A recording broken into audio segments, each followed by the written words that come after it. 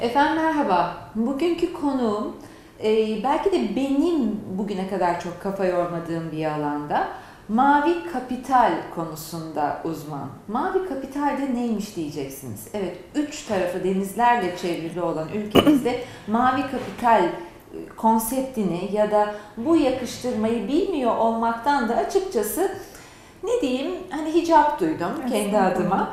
Ee, ben bugün sizlerle Profesör Doktor Gülşen Altuğ'u tanıştırmak istiyorum. Tabii baktığım şey yanlışlık yapmamak adına Su Bilimleri Fakültesi İstanbul Üniversitesi Deniz Biyolojisi Ana Bilim Dalı profesörleri arasında 18 yıldır emekle ördüğü bir çalışmayı paylaşacak. Hayran olduğum bir şey. Ama ben bu girizgahı kısaltayım ki Gülşen Hanım'a söz kalsın. Çünkü çok güzel konuşuyor. Çok teşekkür ederim. Ee, bir kere çok teşekkür ediyorum Ben e, teşekkür ederim. için.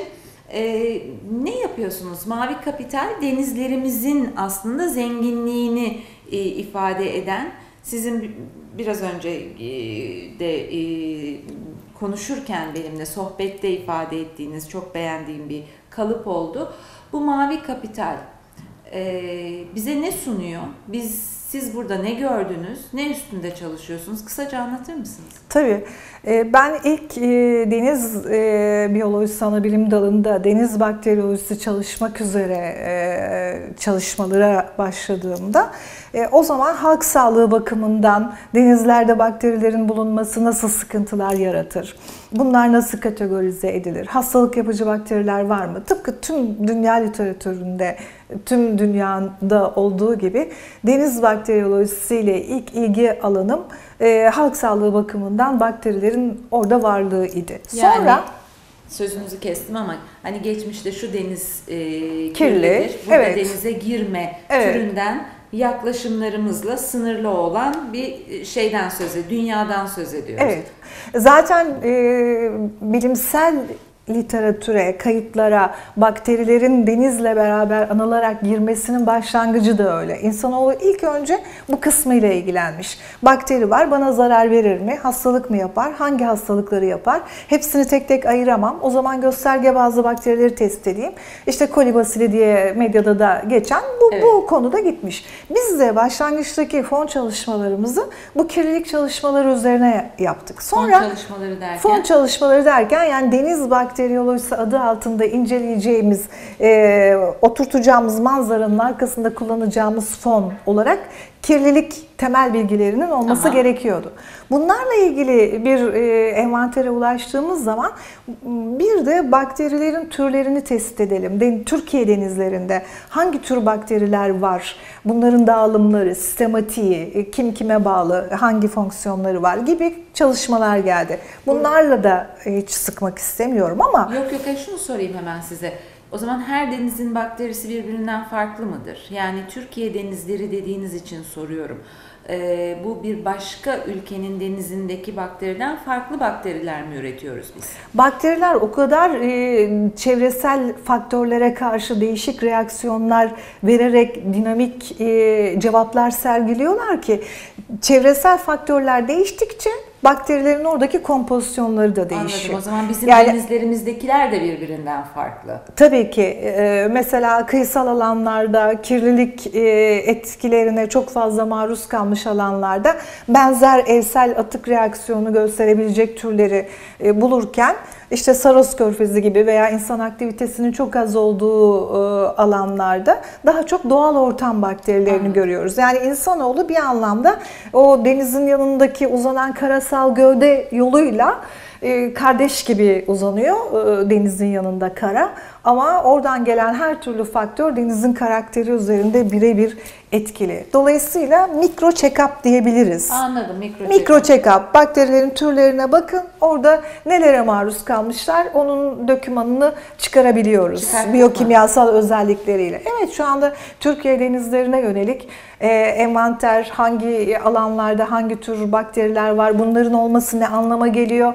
Bunlarla yönelik, e, bunlara yönelik verilerimizi tamamladık sayılır. Tabii ki bu e, süreklilik arz etmesi gereken bir şey. Devam da Oldu bitti değil. oldu. Tabii ki onlar devam edecek. Ama asıl sizin sorunuzun cevabı biz burada bunları tanıdıkça, baktıkça Aa işte e, şu enzimi üretme kapasitesi olan bakteriler var. Bu, bu metabolik özelliği gösteren bakteriler var. Şu konuda direnç gösteren bakteriler var. O zaman bunların endüstriyel kullanımına yönelik bir potansiyele ulaşmış olduk biz. Ve elimizde Türkiye denizlerinden işte son 18 yıldan beri izole ettiğimiz bir koleksiyon var. Onları eksi 80 Çok derecede değişik. uyutuyoruz. E, jargon bu. Yani sizin Koleksiyon? Evet, yani koleksiyon denizde bakteri koleksiyonu. Evet. Nasıl O uyutuyorsunuz? tür, onları bir işte e, türlerini teşhis ettikten sonra Evet. tekrar canlandırmak üzere eksi 80 derece santigratta bazı işlemlerden geçirerek onları uyutuyoruz. Tekrar onların üzerinde inceleme yapmak istediğimiz zaman da canlandırıp e, testlere devam ediyoruz. Şimdi bunların içerisinde öyle bakterilerle karşılaştık ki petrol hidrokarbonlu dediğimiz yani petrol diyeyim ben ona. Tamam. Petrolü tüketebilen, gıda olarak petrolü tüketebilen bazı türler. O zaman biz bunları alalım. Petrol kirliliğinin olduğu ortamlarda Kullanalım diyorsunuz, tabii e, işte kaba temizlik sonrası e, problemli Hemen bölgesi bir örnek verelim. Aslında yıllar öncesinden bir Exxon krizi Evet. olmuştu. Evet. Ee, daha sonra yine Meksika körfezinde farklı farklı şeyler oldu. Bizim denizlerimizde de oldu açıkçası değil mi? Evet. Yani e, batan e, şilepler, petro, petrol e, tankerleri, sızıntılar. sızıntılar. Evet. Onlardan söz ediyoruz değil Tabii mi tabii mesela? tabii ama e, şöyle bir yanlış anlaşılma da olmasın. Çok teknik e, başlıklar var orada.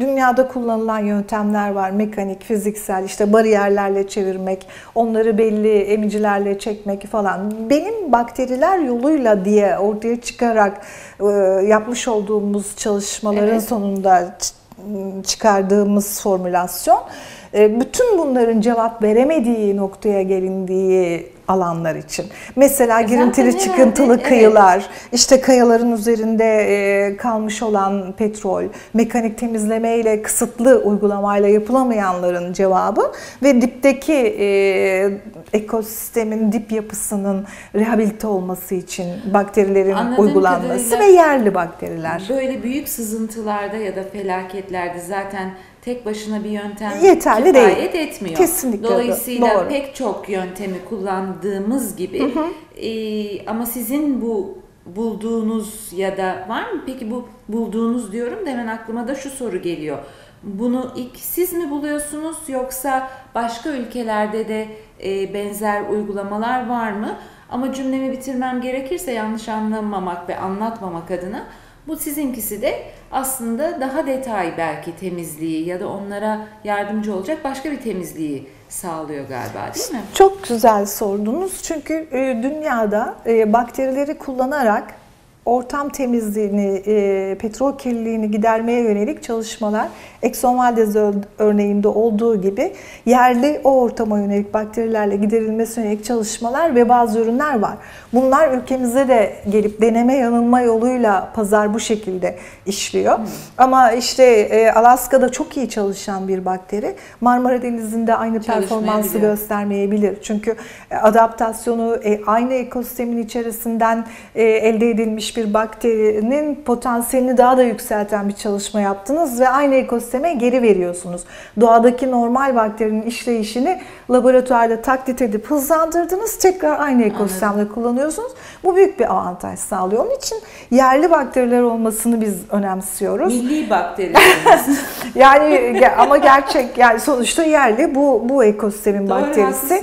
Ee, bunun burada kullanılması da benzer coğrafyalar, Orta Doğu, Balkanlar, Evet. Benzer alanlarda da çok daha verimli olabilir. Bir tanesi bu. Şimdi e, biz bakterileri tanıdıkça, gördükçe, bildikçe, listesini, envanterini çıkardıkça hangisini nerede kullanılabileceğimize yönelik e, yollar açılmaya yani başladı. fizik şeyleri aslında zararlı olan siz bu e, canlıları yani bizim marifetimizle zararlı hale getirdiğimiz denizlerde yetişen ve zararlı olduğunu düşündüğümüz bakterileri ya da o organizmaları siz güzel bir şey için kullanıyorsunuz. Yani ben bunu anlıyorum ve bunu anlatmak istiyorum. Ve siz burada da milli kötü bakterilerden milli iyi projeler yaratıyorsunuz. Kesinlikle öyle. Aslında burada zararlı ya da e, zararlı dediğimizde de haksızlık olmuş oluyor. Çünkü bakteriler doğanın sessiz işçileri ve doğaları gereği zaten bir takım şeyleri yapabilme, ortamda değişiklikler oluşturabilme yeteneğine sahipler.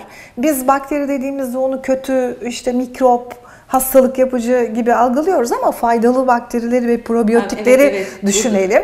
Burada bizim seçip kullandıklarımız e, bakteriler de zaten hastalık yapıcı özellikleri olmayan ortamda e, bir takım sizin dediğiniz gibi e, karşılaştığı ajanlara göre kendine bir yetenekler kazandırmış, adaptasyonlar kazandırmış, direnç sahibi Bir olmuş. tür aşı mı bu? Dirençlilik yani, Yani doğada böyle bir seleksiyon var biliyorsun. Vücudumuza da aynı şeyi yapıyoruz. Yani Öyle. bazı konularda değil mi? Yani aşı oluyoruz ki direncimizi artıralım diye. Onunla Peki karşılaşan biri etmek istemiyorum Ya o zaten bakterilerle ilgili bütün bunları öğrencilerime de diyorum ben e, derse ilk başladıklarında. Ders bittikten sonra bakterilere olan saygınız artacak. Evet. Onları öyle Ay, göreceksiniz iletişim diye. İnanılmaz bir dünya. iyi kullanmak İnanılmaz lazım. Onun bir için dünya. büyük bir sorumluluk duyuyorum aslında. Yanlış bir Yok şey yanlış değil adına. estağfurullah. Gayet haklısınız tabii. Peki petrol bir tanesi. Yani Evet, sizin bunu- bu, bu- e, ve patentli. Patent, e, patent başvurusu bulunduk. yaptınız. Süreci devam ediyor. Başka? Ee, yani denizlerimizden aynı- başka ne çıktı? Bir de e, yine tabii hepsini çok sıkmadan anlatmaya çalışacağım. E, süngerlerin üzerinde yaşayan bakteriler var. Deniz deniz süngerlerinin üzerinde yaşayan Türkiye denizlerinde işte biz Gökçeada çevresinde yapmış olduğumuz e, bir proje ve Marmara Denizi süngerleriyle yaptığımız bir çalışmada süngerlerin üzerinde yaşayan bakteriler zaten normalde süngerlerle bir simbiyotik ortak yaşam içerisindeler. Bakteri süngerden besinini sağlıyor. Sünger de bakterinin ürettiği bazı biyoaktif bileşiklerle düşmanlarından korunuyor.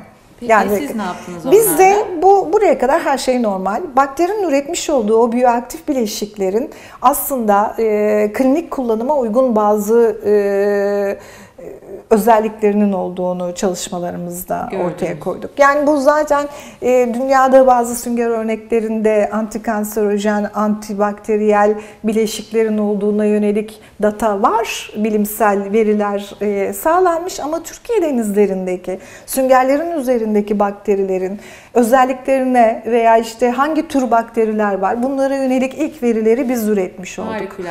Böylece Bununla de ilgili insan de- sağlığıyla ilgili bir Tabii bunlar var. klinikte, kozmetikte çok farklı maksatlarla kullanılabilecek bir takım ajanlara sahipler. Bununla ilgili de bir patent başvurumuz oldu. Ayrıca e, tarihi yapı yüzeylerinde bakterilerin e, yerinde iyileşme ve koruma sağlamak maksadıyla kullanılabileceğine yönelik Tarihi yapı derken herhalde o Herhangi taşlar... bir işte heykel, köprü, Heykel, köprü. yapı, e, tarihi özelliği olan işte daha çok Marmara mermeri, küfeki taşı gibi taş yapısının tercih edildiği binalarda, ye- yerlerde, alanlarda çeşme bile olabilir Evet. bu.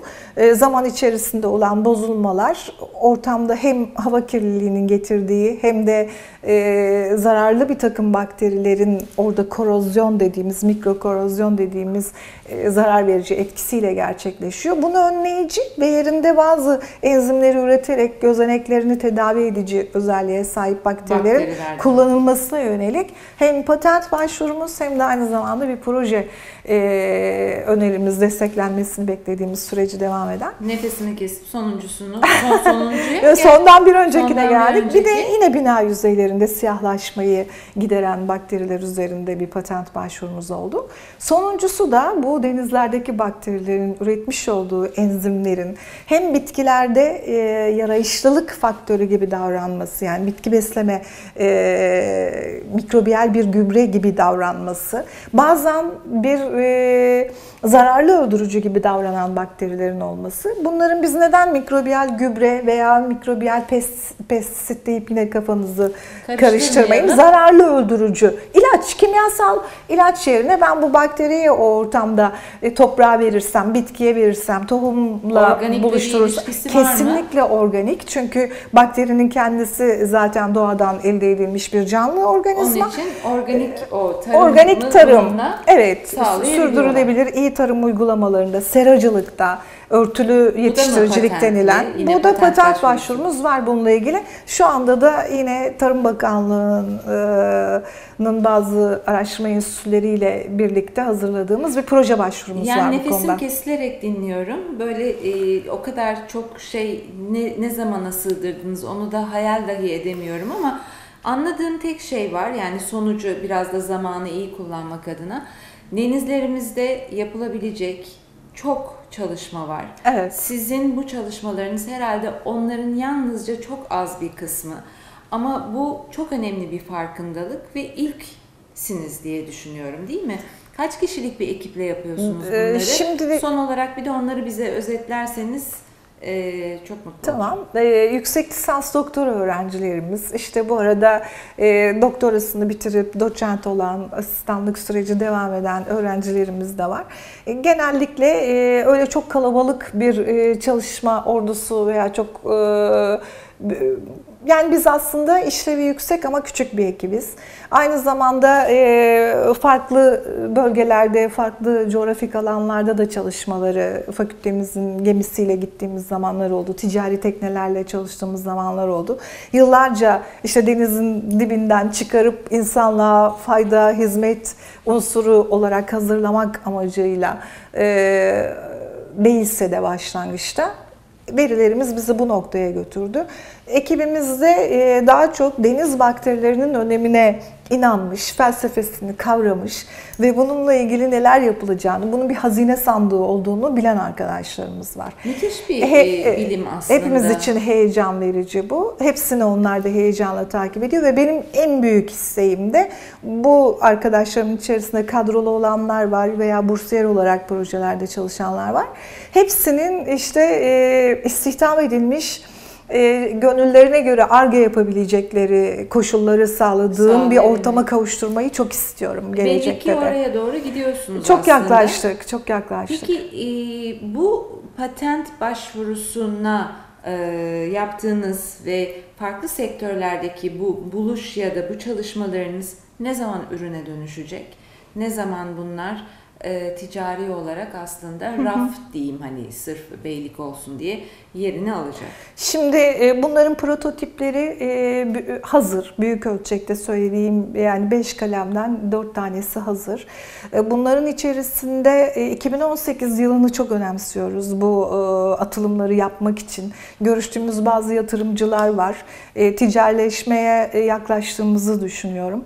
Çünkü projeyi tamamladıktan sonra ben bunun formülasyonunu da buldum dedikten sonra geriye ya bir yatırımcıyla yolunuza devam etme ya da devlet desteği alarak işte COSGAP, TÜBİTAK benzeri kurumlardan e, veya bakanlıklardan devlet desteği alarak ben bunu şimdi saha ölçekli üretime hazır hale Hazır getirdim hale diyebilecek bir süreç lazım. Bunu diyebilmem için diğer projelerimi bitirmem ve e, argesiyle bu kanıtlandı diyebilmem lazımdı. Bunu büyük ölçüde yaptık.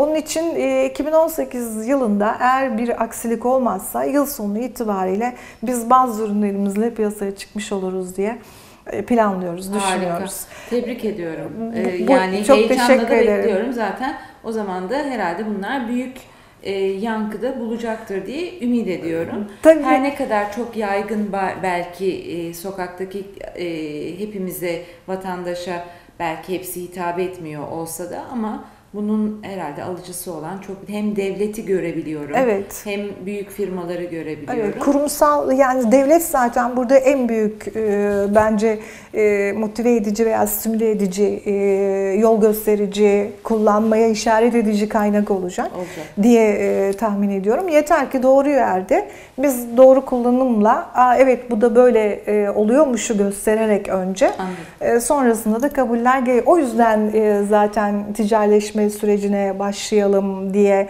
ARGE şirketi kurup Teknokent'e gidişimiz de o yüzden oldu. Harika. Çok teşekkür ediyorum. Rica ederim. Bir bölümünü bizimle paylaştığınız için. Çok teşekkürler. Ben teşekkür ederim.